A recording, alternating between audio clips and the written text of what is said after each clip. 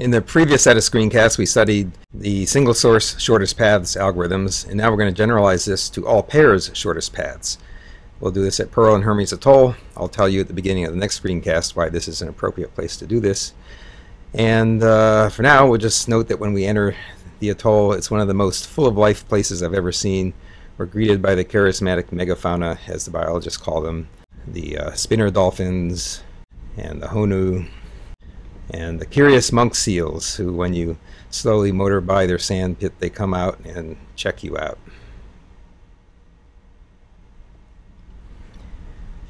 To begin, let's review the definition of shortest paths. Uh, we are dealing with weighted graphs where you have a weight function that maps edges to real numbers.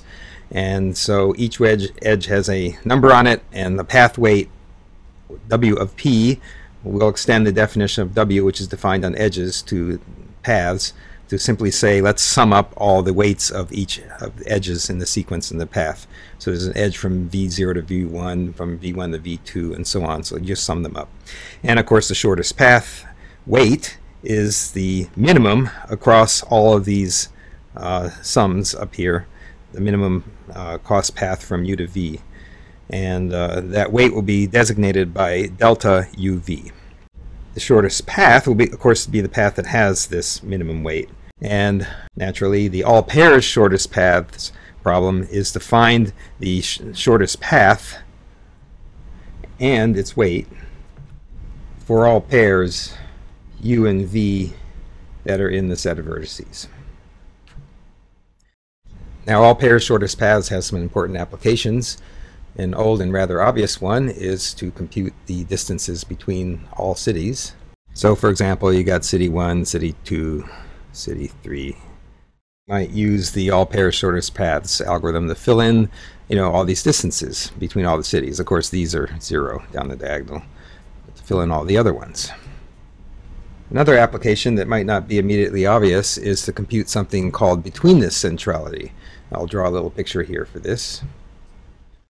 Suppose we have a graph like this uh, where these uh, vertices represent people, and uh, this is a social network. We've asked people who they know or might be uh, connections in an organization, and we want to know what people have certain kinds of uh, properties in this social network, what people have certain kinds of power.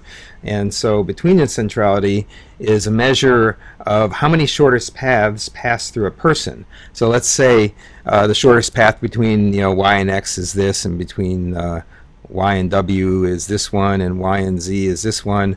But in order for y to get over to c it's going to have to go through k and uh, a here and c. In fact anybody in this group here to get to c has to go through k and anybody in this group here to get to any other group has to go through k. So what you do is you find all the shortest paths between all pairs and you count up for each node how many shortest paths go through that uh, each vertex and then you will find out, for example, that K has very high betweenness without even having a picture of the graph. Just, you know, this can be a really huge graph and you just run this and generate some numbers. Uh, you can find out just by the betweenness number what person, say in an organization, has control over flow of information in that organization. So that's another interesting application. So how can we compute all pairs shortest paths? Well, this iteration of ULUA gives us an idea. Why not iterate our single source shortest paths algorithms? So let's say we decided to iterate Bellman-Ford.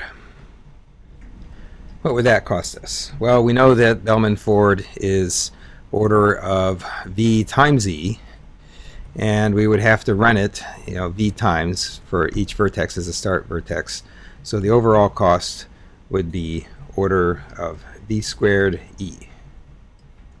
Kind of expensive. On a dense graph, e is order of v squared, so this is order of v to the fourth on dense graphs.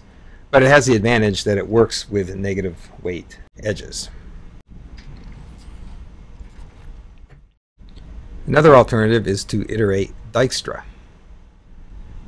Now remember, Dijkstra's, Dijkstra's algorithm is big O of e log v, and so if we do that v times for the start vertices, we're going to get big O of v e log v.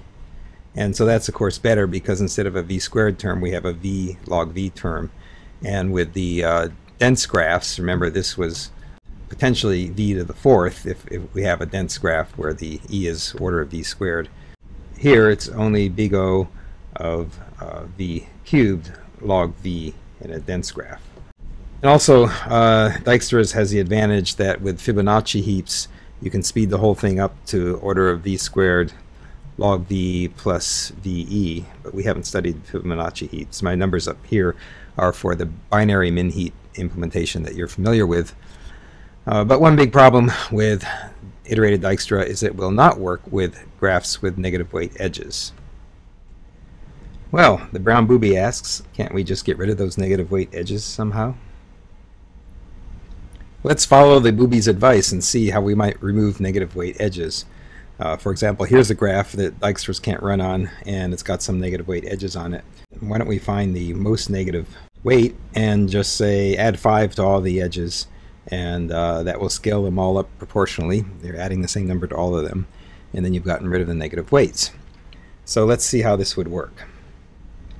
So here's a simpler graph, and uh, first we'll see why Dijkstra's goes wrong on it, and then we'll see how we're going to fix that. So if you remember how Dijkstra's work, initially we have a queue where all the vertices are on it and distances are all infinite except for the start vertex.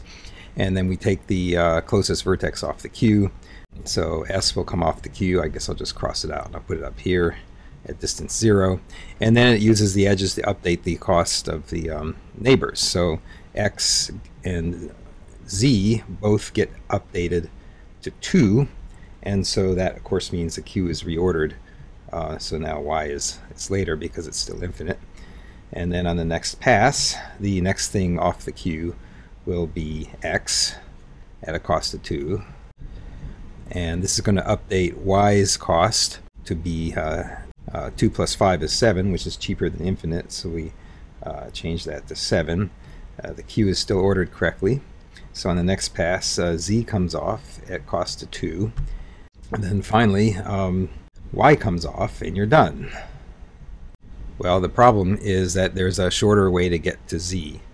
You can go to z from 2, 5, negative 10, so you can do it at a cost of negative 3, and we haven't found that here. So let's fix that with this proposed fix. I'm going to take the absolute value of the uh, most negative number here, and I'm going to add it to all the edges to make everything 0 or greater. So here's the fixed graph. We've added 10 to all the edges, uh, so there's no more any no more negative weight edges. And we'll proceed as before. Take S off. It costs to zero. Update its neighbors. Uh, this is now 12. Uh, Z is now 12, and uh, Y is still infinite. So let's reorder the queue. There we go. And then take the next one off, which would be uh, X. It costs 12. Update uh, neighbor Y now has cost, uh, what's that, 27. queue is still ordered correctly. Now we can take Z off at 12. And uh, finally, we're going to take Y off at 27. Now, at first this looks okay. We found the shortest path here in this graph, which is 12. But the problem is we wanted to use this graph as a proxy for this other graph. We wanted to find the shortest path here, and it would also be the shortest path up here. And the shortest path up here was actually this one. But that is a cost of 27 here. So something went wrong. What went wrong? Well, we added 30 to this path. Remember, this was negative 10, so there's another another 10 there. Whereas we only added 10 to that path. So just adding a constant amount to all the edges penalizes longer paths, longer in terms of number of edges, even though they may be the shorter path in terms of weights. So this naive approach does not work. And perhaps because of this, the first solutions that were developed were more of a dynamic programming approach that we're going to see in the third screencast. But later on, somebody had a bright idea to get around this problem. But we're done with this for today. Let's head back to the mothership and for another moonrise.